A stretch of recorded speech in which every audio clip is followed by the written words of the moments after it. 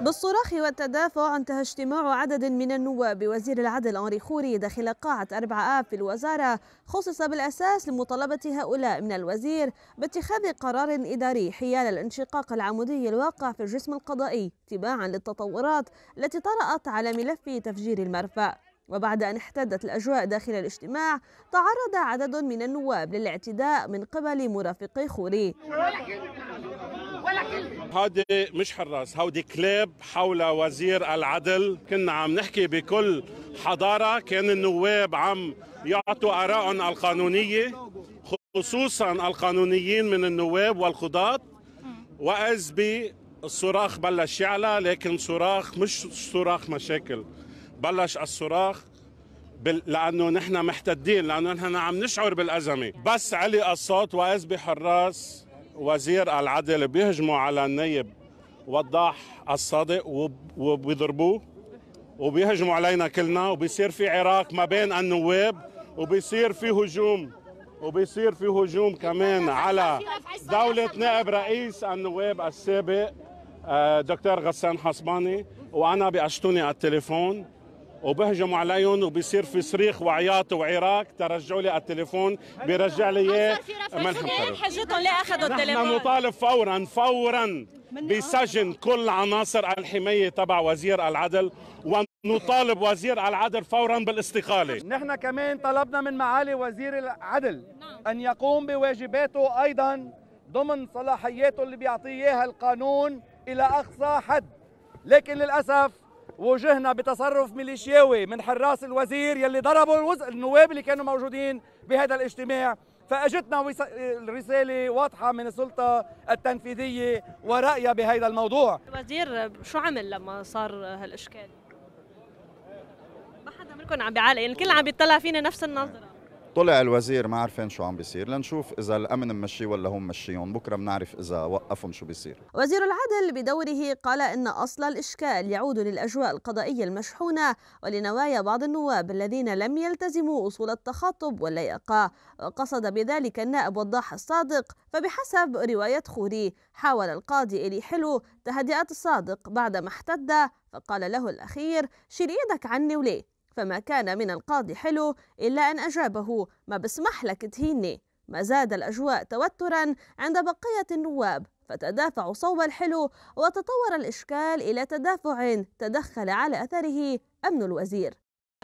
أما في الخارج فلم تكن الأجواء أكثر هدوءا فحاول المحتجون اقتحام وزارة العدل في انتظار ما سيؤول إليه اجتماع مجلس القضاء الأعلى. رئيس مجلس القضاء الأعلى ونائبة المحامين مدركين لمسؤوليتهم التاريخية اليوم. الشعب اللبناني كله ناطر هذا المبنى اللي بضم مجلس القضاء الأعلى بالطابق الرابع. ونقابة المحامين يعني بده يستمر هذا التحقيق. هيك يعني يعني ما في حقيقة رح تضيع. زمن الإفلات من العقاب ولا؟ يعني خلوني كمل. يعني يعني في قرار اتهامي رح يطلع بملف التحقيق ويتحول إلى المجلس العدلي. جينا نطالبه بتصليح الخلل القائم بعمل القضاء. مش شغلتنا نتداخل شو في بالقرار الزني ولا شغلتنا نتداخل مع القضاة ونعمل شغلهم.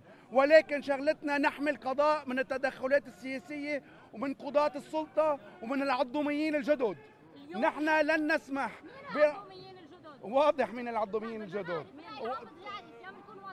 نحن كثير واضحين وبنعتبر إنه اللي عم بيعمله الرئيس عويدات هو يعني يعني هو عضوم جديد. طبعا هو عضوم جديد. إذا مجلس القضاء الأعلى اليوم ما قدر طلع قرار اعاد انتظام العمل القضائي يعني على الدنيا السلام يعني راح لبنان. وهذا ما حصل فرفضا للتدخلات السياسية ورفضا للالتئام تحت الضغط الشعبي طار اجتماع مجلس القضاء الأعلى الذي كان من المفترض أن يبحث بقرار القاضي غسان عويدات بإطلاق سراح جميع الموقوفين في قضية أربعة آب والادعاء على القاضي طارق البطار. ما في أي عقل قانوني ممكن يقبل أنه مشتبه فيه ومدعى عليه بملف يروح يقرر يخلي سبيل مدعى عليهم آخرين.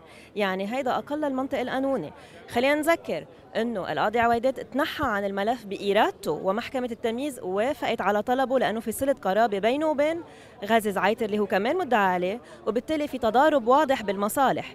بالإضافة إلى إنه عويدات كان عم بيحقق بموضوع النترات قبل حصول الانفجار وما أخذ الإجراءات الكافية لحماية السلامه العامة. وبالتالي هو كنائب عام متنحي عن الملف ما بيقدر ياخذ أي قرار بهذا الموضوع. وكمدعى عليه أكيد ما بيقدر يخلي سبيل المدعى عليهم الآخرين. فاللي عمله القاضي بيطار كان اجتهاد لحتى يقدر يرجع التحقيق من بعد ما صار لنا سنة ناطرين من كل السلطات المعنية إنها تاخذ إجراءات لتحمي التحقيق ولحتى يرجع. أما الأهالي فرفعوا علم لبنان بالأسود حدادا على الحقيقة والقضاء والعدل. المطلوبين عليهم منع السفر نصهم عم بيسافروا. بأي دولة بتصير هي بأي قضاء؟ دكان هذا بالنسبة لها هلا صار هلا بيطلعوا بيقولوا عم تهاجم القضاء بيجوا بوقفونا. بس إنه أنا بتوقف على كلمة والقاضي فلت 17 موقوف من غير حق قانون من دون قانون. هي مش ما بيتوقفوا لحدا بيتعاطى. معه هذا مش صايرة وبحياتها مش صايرة. يعني اسم الله حوله.